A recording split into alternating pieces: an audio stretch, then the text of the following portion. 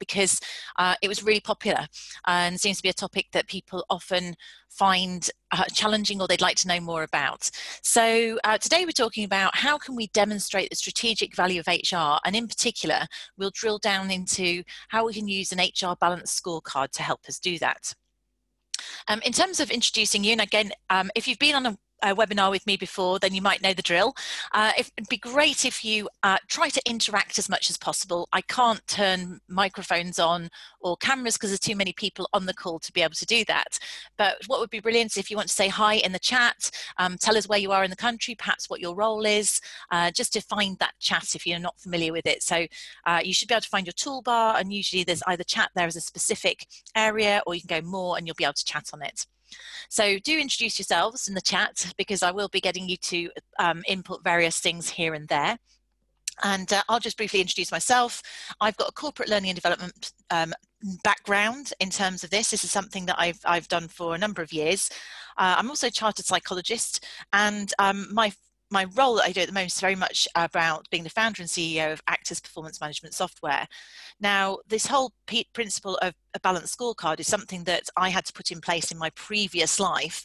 Um, and we ran the whole business using a business balance scorecard and we cascaded it down. And this is something we do with our business. We'll talk about the pros and cons of that. Um, if you are interested in podcasts and you've not come across it, I also host a podcast called the HR Uprising Podcast. We do have a podcast on this topic. So uh, if you wanted to go back and listen to anything like this, again, then you can listen to a similar, um, a similar story, if you like, on the podcast.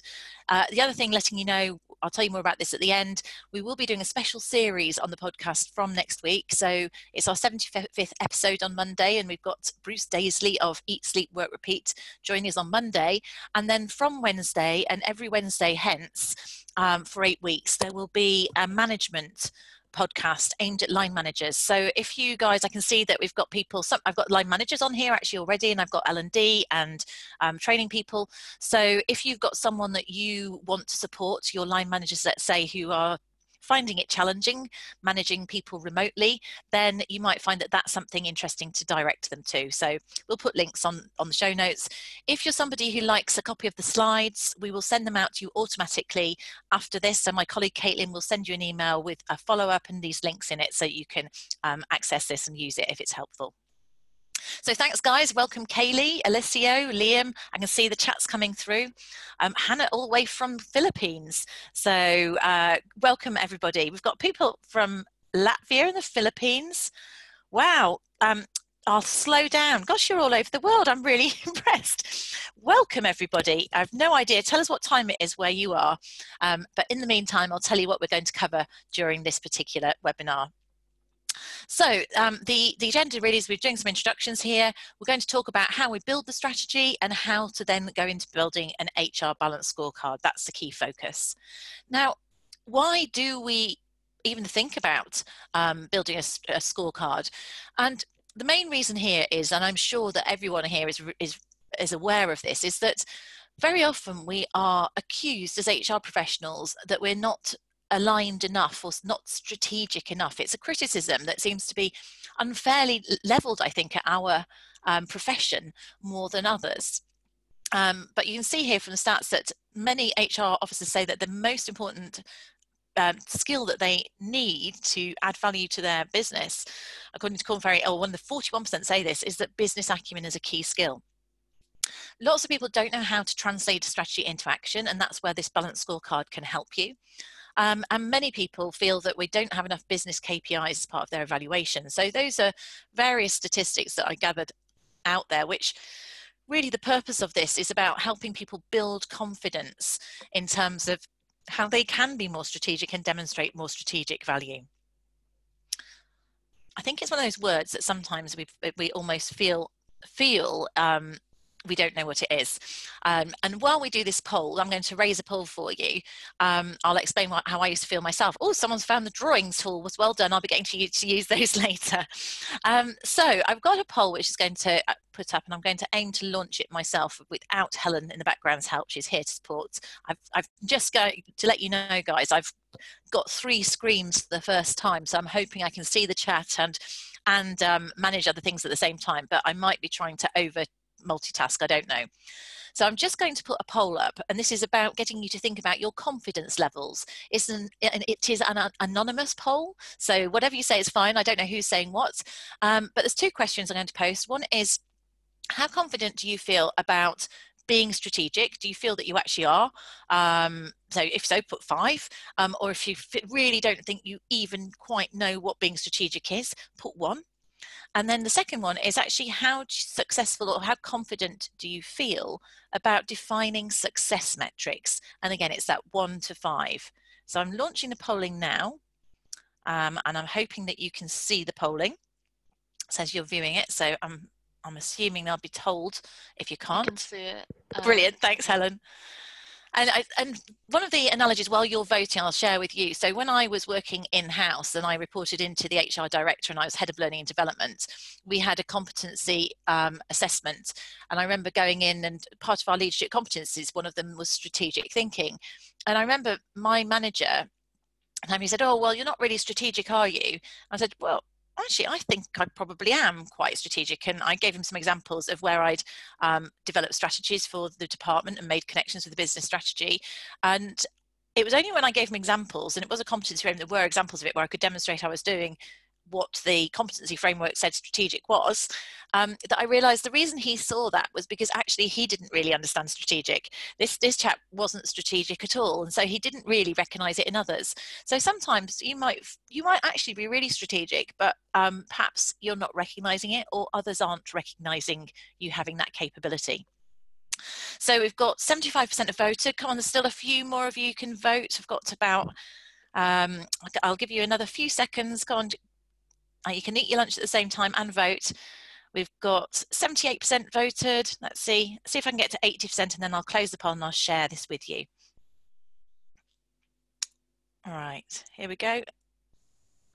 So here we are. So in actual fact, it's looking like there is quite a mix. So we've got 7% um, of people actually do feel pretty pretty confident. I don't know if it's the same 7%. Only 1% of people feels um, confident about, about defining success metrics.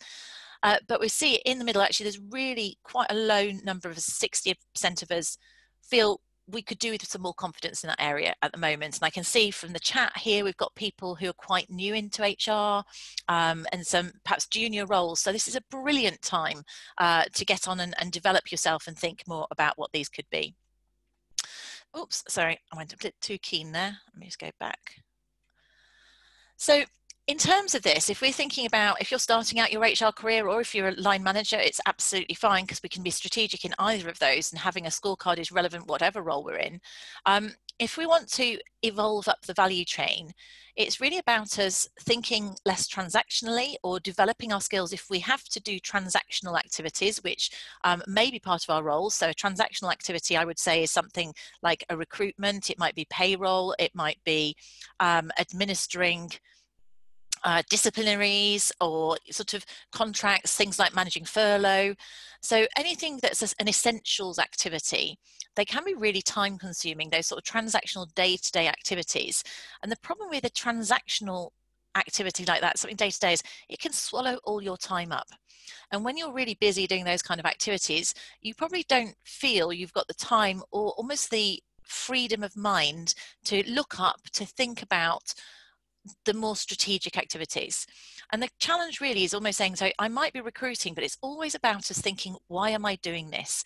How am I adding value to the organization by doing this? What is the purpose of this activity that I'm doing? Um, and how can I make it as productive as possible? So understanding why we're doing things.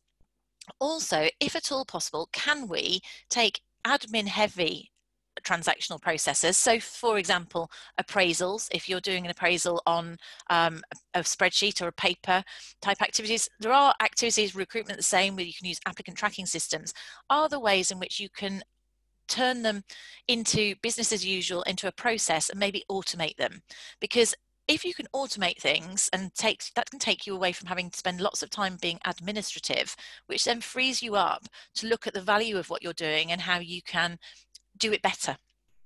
So think about um, how can you operate, operationalize things which are perhaps admin heavy or transactional. And then it's about thinking about how am I delivering these in a way that absolutely is driving the business strategy. So if we do have an appraisal and we have got um, something to do with the business strategy, then do people have a connection between the objectives and the business strategy that they're being appraised against? Do they connect? Um, have we got corporate goals or values, um, let's say behaviors that are being connected with the way in which we might manage people if we had a 360 feedback tool for development? Are we linking these things together? Um, and are we making sure that the people who are the talent of the future are the people who are developed in a way? So it's about making connections between our people stuff and the overall business strategy and making sure that they're supporting and reinforcing each other. Then, for you to get people to recognize that you're being strategic, it's about communicating the links. Because many of us, I think quite a lot of you, are probably standalone if you're in people. Again, tell me if you're in a standalone role or part of a larger team. If you're in a standalone role, it can feel, particularly in the people role, depending on the culture of the business that you're in, you might find that you are the only person thinking in a certain way, and you may or may not feel that your people related skills are being valued.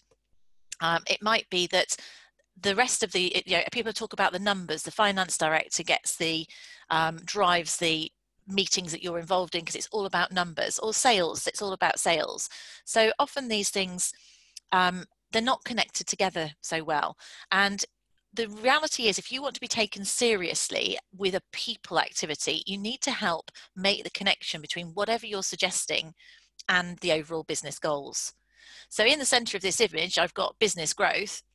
And let's say you're saying what we really need to do is to align our reward policy, our bonuses with business growth.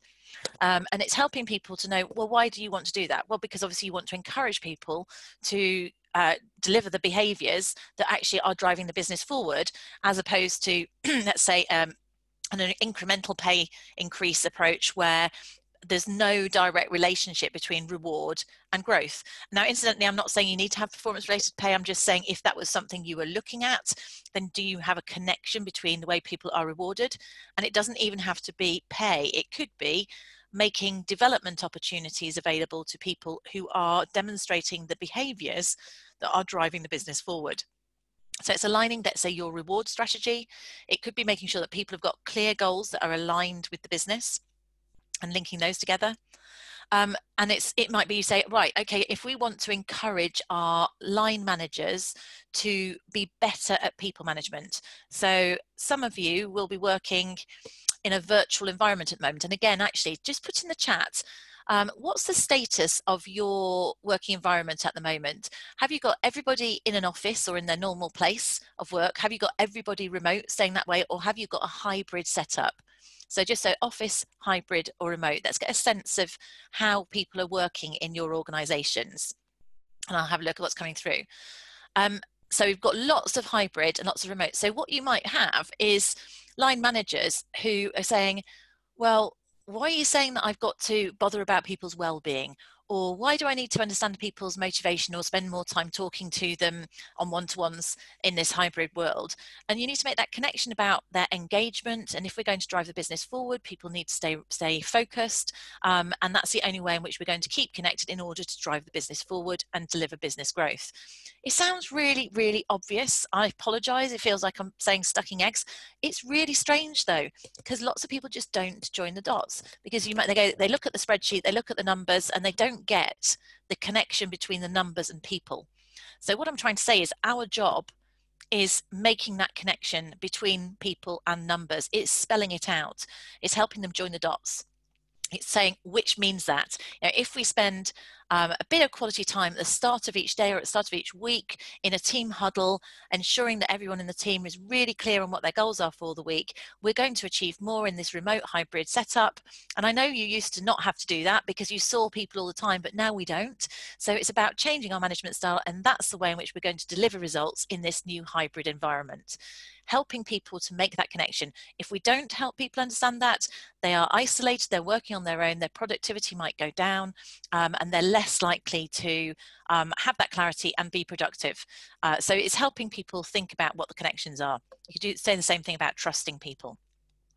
So in these new environments, it's a slightly new communication if you're trying to influ in, um, influence people. So now on to another question, and I think I did a, another poll on here just to make it easier. Um, right, I think I probably forgot to share the results of the last one. So that was the previous one. I'm just relaunching my poll. no, not. Uh, here, here we go, Helen. I might need help. Let me see. Have I got another one? I thought um, I'd set. A, um, can you see a second poll? One second. So did I not say it? Just, uh, you've got a vision one. Yes, that's one. If you can find that one for me and put that. Yeah. So it's just a quick one, guys, which is a, a yes, no, maybe. Thank you. See, I thought I was doing so well, wasn't I? But I still need need my expert support. So these two questions again, we can use the poll for. So do you does your business have a clearly defined strategy or vision? No, kind of, but not particularly well defined. So a rough idea. Yes, but it's a closely guarded secret. Um, yes, clearly defined and, and, cascaded. So that's your first one. And then second one is, do people have clearly defined goals that align with the strategy? And I'll give you, again, we've got 56%, uh, a few more people have chance to vote. And then we'll remember to share you with the results this time. Go on, a couple more and I'll get to 80% and I'll share it. Um, this one I did share it last time. Oh, you, you did? Oh, thank you. There you go then. Brilliant. Do you want to share this one for me then, Helen, please? Are we up to numbers? Yeah, great. We've gone over 80. Yeah, okay, I will. Brilliant.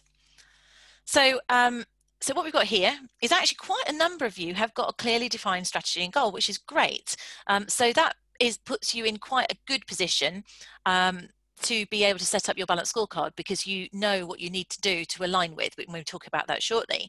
Um, some of you sounds like you might need to do a bit of influencing at the top, either for the exec to share it or um, to help them define it, because it's quite hard to align with something which is vague.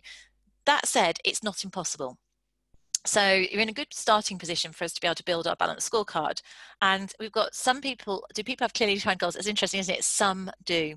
Um, and the 20% say yes, so well done there, um, and some don't. So that, that no, those of you got no, I would really strongly recommend that you um, influence that. It's going to be very hard to be productive without having clearly defined goals and in a hybrid environment, really hard um, and some do maybe how can you be more, be more consistent um, with things make sure that people have got the right goals um, and that side of things. That is really typical that uh, you know it's a bit of hit and miss.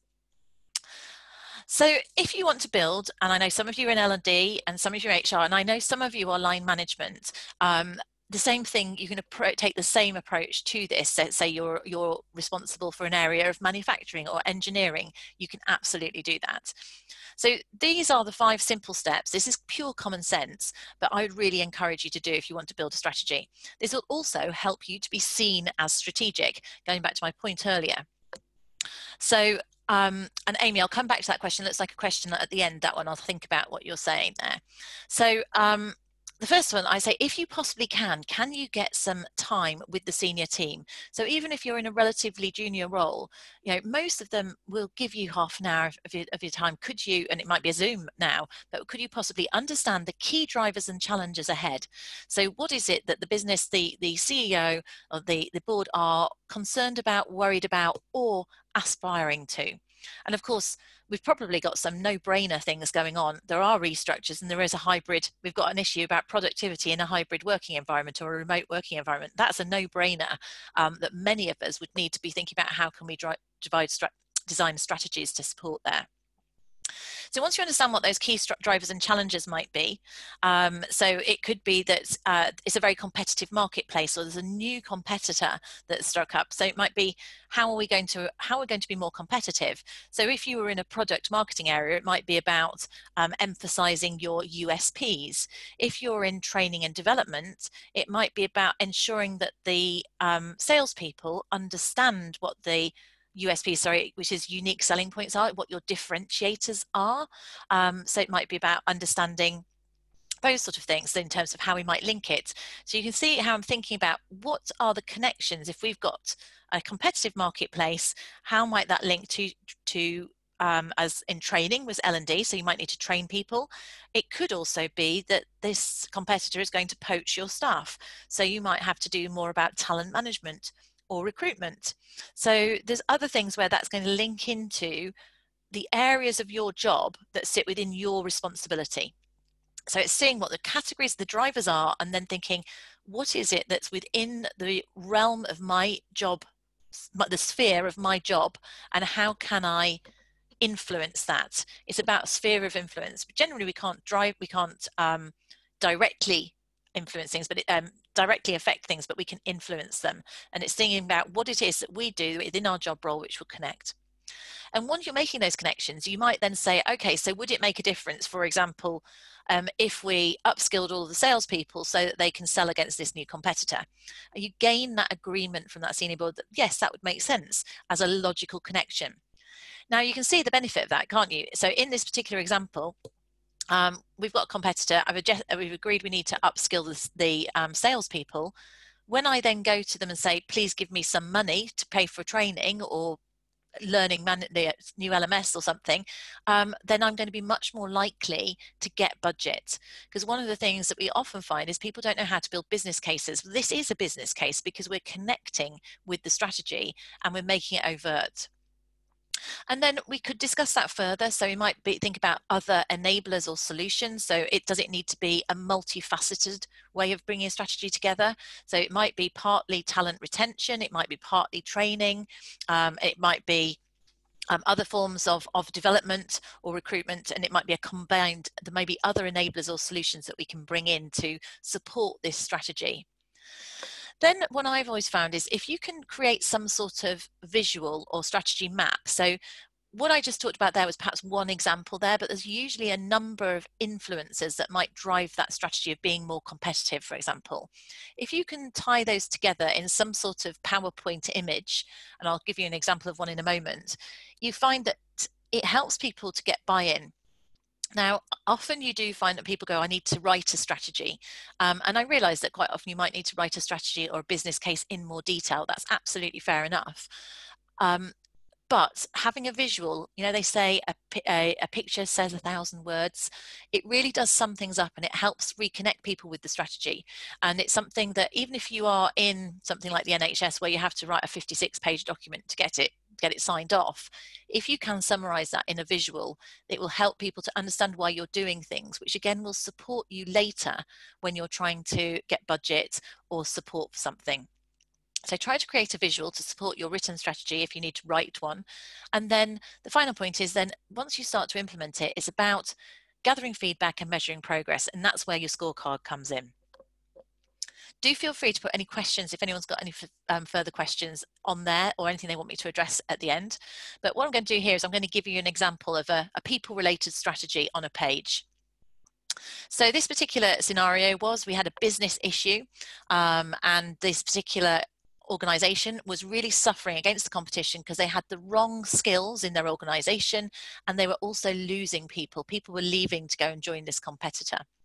So we didn't have enough of the right skills in the organization. Now, within that organization, we'd already done some um, there were clear expectations about how people should be line managed. There was ongoing performance management. These were things which are set in, set in place already, which were the foundation of being able to develop people further and uh, dealing with this issue. So then we need to think about how are we going to retain people and actually, I'm going to put all that because I think it's easier if I go from the whole picture and then I can explain it to you there. So what we're trying to say here is, so this was the issue, we got the suffering here, and what we really needed to do was have a dual strategy. We needed to increase the skill and capability of the people within the organization, um, and we also needed to increase employee engagement and retention so they were less likely to leave. So both of those have slightly different drivers. So if I'm thinking that part of the solution about helping to retain talent and, and help us to compete better, increasing skill, as I gave my earlier example, some of that's about training and development of people the other piece is about making sure that they don't want to leave in the first place. They don't see that it's a better place to go if they went elsewhere. So this is why having this platform of um, managers who were managing their stuff well, because the evidence is that people who manage people well they're more engaged and they're less likely to leave. So this is where you have to explain to people where your line manager says, well, oh, what's the point in one-to-ones regularly? Or why do I have to do appraisals or objectives? Well, actually, it's about retention. It's about developing people and it's about motivating people and making them feel valued. Now, if you hadn't got that in place, then what we needed to do was the first point here on the left in orange is we needed to upskill the people managers. So we might have needed to educate them and we might have needed to train them. They might also have needed coaching and mentoring to upskill them to be better in terms of developing people to learn and support individuals in learning. We built in enabling technologies. So whether it was learning management courses for managers to develop themselves with, whether it was product courses um, through technology or forums or collaboration where people could share product knowledge, looking at enabling technologies or performance management software, again, where you can enable that kind of thing. So you might look at these things. All of these are pillars that were supporting things. We have a variety of learning resources so people could develop themselves in different ways that suited their learning styles. Um, there was social learning sharing. So all of this was about developing this empowered learning culture and managing people and engaging people um, to do that. And this defining career skills and paths is about retention. Now you could have more pillars, less pillars, um, none of those we're saying is one pillar on its own is going to deliver it. But in this example here, um, is it's about helping to put a number of strategies in place, which if they are all put into practice effectively is going to drive that learning culture and is going to have those um, the, the, impact that you're after and of course that key there is if you have that impact that you're after um, or when people can see this a lot of the time we're looking for budget it's much easier to get budget when when they can see the strategy on the page and they say, ah, why are you saying we need to invest in this technology? Well, this is why. All right, because this is about driving our learning culture and it's about retaining people and increasing our skill and capabilities so that we can compete with competitor X. So it allows us to join everything together.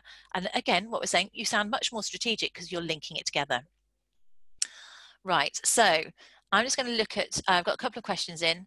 Um, our strategy includes a restructure, so it's not super clear on purpose how to work with that. Um, uh, so are you saying that there isn't a purpose about restructure there isn't a clear message because uh, often with a restructure you do want to have a story whether it's about business survival or about competition um, it, it's it might be a high level vision amy so i might need a little bit more information on that and i'll come back in a bit more detail um, okay. Right. So um so we're trying to yeah so that's difficult isn't it? So often that's about change management. Um what i would say there's is that's almost a distraction that's going to go on in the background. Where what i would say for so amy's if you've got a situation where you know that you've got to hold information back because you don't want people one of the reasons you don't want to share that people are going to lose jobs is that you might lose the best people often the best people jump first um, in terms of, of addressing things and it becomes a panic it would be quite useful to make sure that there's very strong messaging around um, we need to be I don't know, a highly competitive, modernized organization. Therefore, we've aligned our structure in a certain way to um, allow us to uh, support our customer so let's say we've realigned to support our customer sectors or whatever it is there might be something about why a structure is happening. The other thing which you could do if you're in an hr or l&d role is ensure that there is development and support for those people who are staying. And talk about talent management and retention uh, maybe retention is a bit of a poor example here but talk about what development there is and how we value people and we want to get the best out of people. So whether you communicate that after the restructure is being announced what's important is the majority of people will still be staying so they need to feel that they are valued and also that any um, any restructure is being managed humanely and being managed um, well because people get concerned. But the problem with the restructure is people get distracted. So I would be quite clear in making sure this is what we need to do. We need to achieve, these are our business goals. It's actually, the restructure is just something that's happening along the way. You must still have corporate strategic goals that need to be um, hit and, um, and achieved. So making sure that those haven't been lost sight of. Um, and Liam saying, how do you support a manager who might not know what the actual problem is within their remit? Um, in order for you to complete step one to three, which is of the previous slide, I think I would coach them um, and, and get people to talk about, okay, what's in your role and what is your responsibility and how do you think that might influence? I would just want to say, what is the, how can you influence how can any of us if you all think about what's your most businesses need to grow or most businesses need to survive through this so they need to do whatever your business is whether it's serve a customer um, or whether it's about selling things uh, so what is it that that particular area of responsibility does that can drive that growth? What can they improve? How can we do what we're doing better faster in a slicker way? So it's helping people to think about those kind of things do feel free if I'm not answering your question properly. Um, and uh, I'm really happy to pick them up because I'm only gathering a little bit of the gist from the chat. So the main thing we talked about the balanced scorecard, this is how you can make these things measurable. So you've got your overall strategy or goals. A number of you have got business goals. This is about talking about how we can align with it. So the balanced scorecard, it came from, um, it was written about by Kaplan and Norton in the 90s. And what's very interesting about it is that it is definitely more than jargon. It's a pretty good one. Very many businesses um, still are actually are just driven by numbers. And so you get the, the, the, they say, oh, have we hit this number? What is our turnover? And that is what's driving. That's all they talk about. The start of the board meeting is what the numbers are. Now, that's well and good, but that numbers are effectively measuring what you've already done. They are a result. So they are a lagging indicator, as in they're telling you what's happened in the past. So Kaplan and Norton said that if you build a balanced scorecard, what you also need to do is have metrics around your leading indicators. And leading indicators are things like customer satisfaction. So you can imagine if your customers aren't satisfied, then you're going to have some attrition. Um, your processes are about how effective and efficient you are. So if you can shave some time off your manufacturing process, you're going to be able to produce more and therefore in theory be more profitable.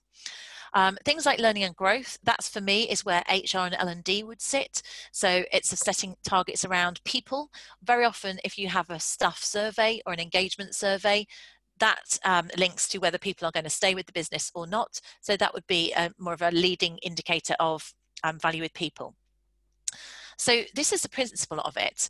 And I was just going to say, if let's just have a little play because you've been listening to me talk for a minute.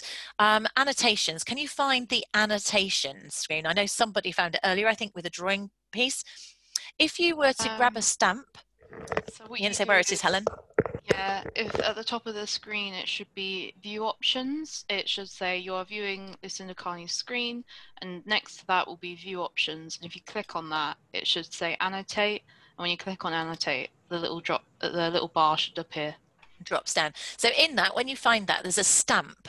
So choose your favorite stamp. And what I'd like you to do is first of all stamp where you see that there are metrics in your business so are they are the ones that are in finance or do you have things about production times or customer satisfaction net promoter score do you have um, learning and growth type ones so stamp where you're seeing them and you can put more than one let's just get a sense of where you're seeing these metrics Okay. Lots of drawing on the page. So it's a good mix of things that are coming through here and actually it's looking quite balanced. So it sounds like some of you have got balanced scorecards activities going on and fewer ones about process at the moment, but maybe you're not quite thinking of those at the moment. So what would be great is, well, I'm going to go on to the next slide and I'll explain a little bit more about it, is to hear a few examples of how you can um, of the sort of let's talk about your learning and growth ones if you've got something which is a metric that you think is in your learning and growth area and uh, helen i'll let you find oh, can you click hang on can i do it close I can do it. Actually, I've found it. Um, so if you want to put in the chat, do you have what would be an example of a learning and growth or an HR or L&D metric that you've got so far?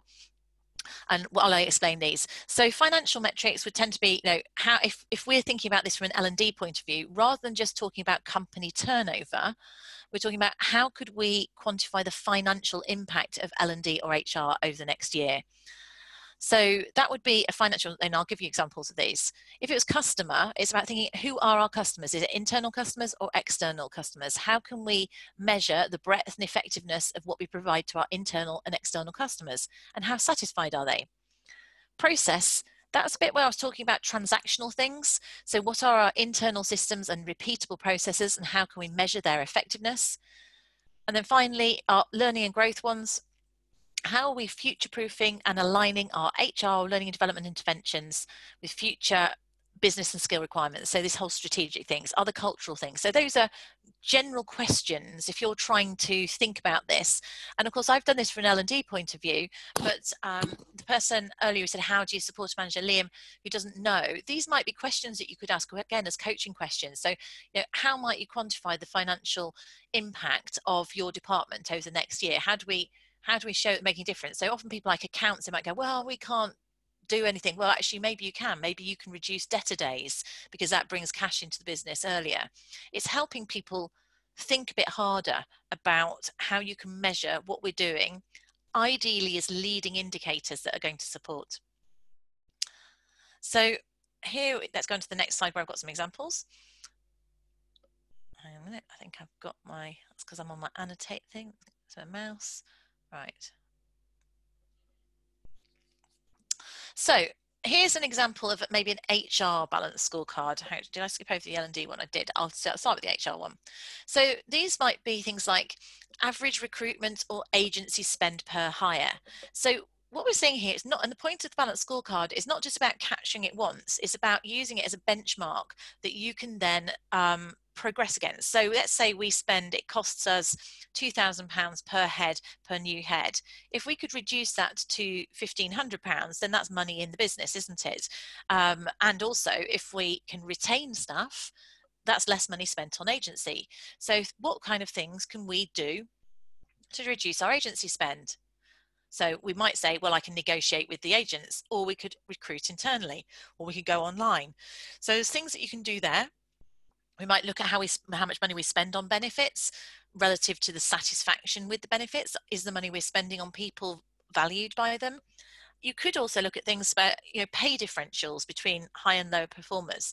And obviously have things like gender pay, pay gap information if we're looking at customer so how are we helping our internal customers we might think about things like what number of jobs are filled internally. So that might be talent development. And I saw that um, Heather said they've got early career pathways, engagement, absolutely.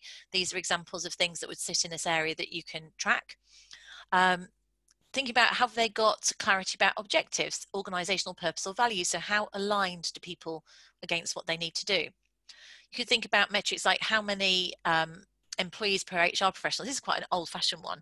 Um, and in theory the you can increase the number and therefore hr is costing you less or providing more value of course you can only really do that maybe if you're bringing systems in or otherwise you might actually not be as effective in providing a service so you've always got to be careful that the things that we measure make sure they have a positive impact rather than a negative impact process things like speed of hire so how quickly can we fill those gaps um, appraisal rates one-to-one rates objectives again, things like that. Appraisal rate is a classic one because actually lots of businesses measure appraisal rate, but there's nothing there about the quality.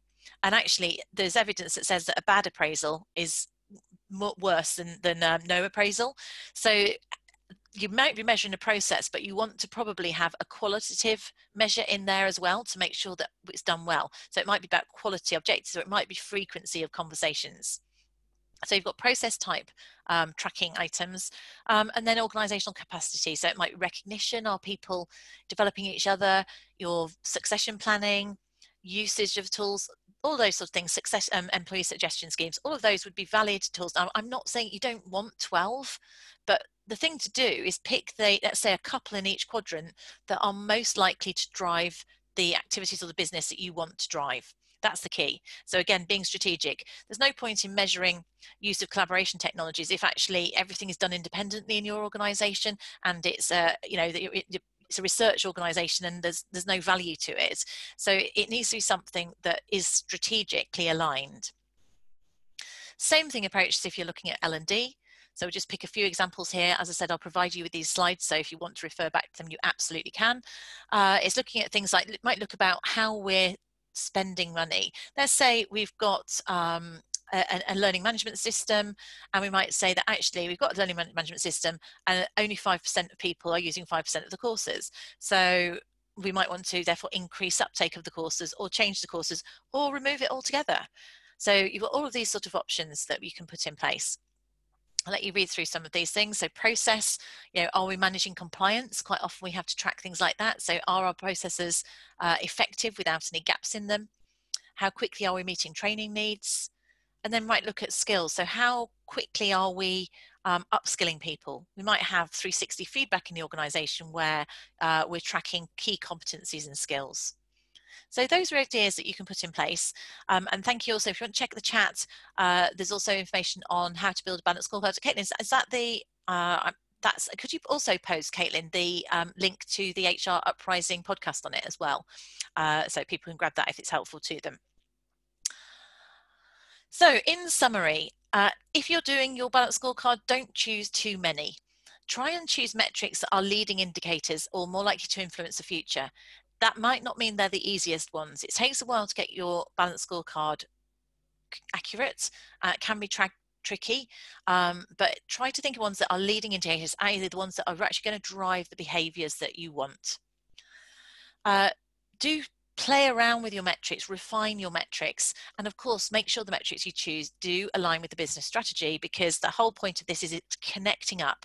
Your HR strategy should be supporting the business strategy and your HR metrics should be supporting your HR strategy. So they're all connected together. So that's the end of the content there. This was just to mention, um, we'll provide you with a link to the ebook, which may be of use to you in this hybrid, many of you in a hybrid workplace. So I've written an ebook, which is based on our perform model, which runs through management, virtual management uh, 101, basically. So if you want that, you can download that. And as I said, we'll the, uh, keep an eye on the HR uprising. Maybe if you've got line managers that report into you, you might want to direct them towards those episodes that will go out from next Wednesday. If you uh, enjoy the webinars and you want to join more of them, I do two webinars every month now. I tend to do one which is suitable for everybody, so line managers, um, and one which is maybe more learning and development or HR specific. So on the 7th of October, we've got one which is all about practical well-being. Um, and given we're going to be heading into dark and dingy winter, certainly over here in the UK, maybe not so much for some of you guys in sunnier climes, um, that might be a relevant one to let people know about. Um, the links are available in here and we'll also send links out on the email uh, and you can see the other modules that I will be running. If anyone has got any questions or would like any support, please feel free to put them in the chat. I'll just put this up. If you want to link in with me, be great if you want to link in with me, follow on social media. Um, the stuff on change as well, that's about changesuperhero.com. That's on the book that I've written. There's a load of tools. So lots of useful links. Feel free to copy those down. Um, thank you so much for joining us. I hope you found this of use. Your feedback is really valuable um, to us. Do please tell us what works, what other topics you'd like us to do webinars or podcasts on. I'd be very grateful. And if you do have any other specific questions that you want um, me to respond to, I'm happy to uh, respond to those in the chat or even um, discuss if needed. Another five minutes. So thanks guys. If you want to go, feel free. I'll keep an eye on the chat and address any questions. Yes, um, we'll send this card, we'll be sending the slides out to you automatically. Alessio, yes, don't worry. Look out for an email from Caitlin. Thank you. Thank you, Nina.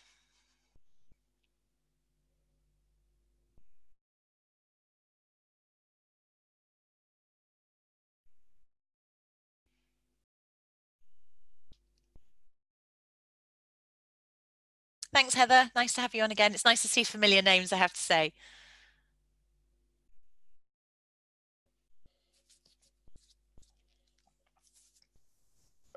And Caitlin's just putting Felix. Oh, I didn't mention this if anyone's still listening. So there's a LinkedIn community that we run. You might want to join that if you want to collaborate with other like-minded HR L&D people. That's the link to go directly there if you want to join it. Um, do feel free. Those of you who are from um, overseas, I know I speak quite quickly. Were you able to follow me or should I have been slowing down a little bit? It's all well and good now. I'm slowing down asking you this question, aren't I? Was it was it okay to follow? Thank you, Biljana. Okay, well, it looks to me like um, it, brilliant, Stella. Thank you. Good to hear. You could follow. it was quite fast. I do have lots of words to get out, but that's great.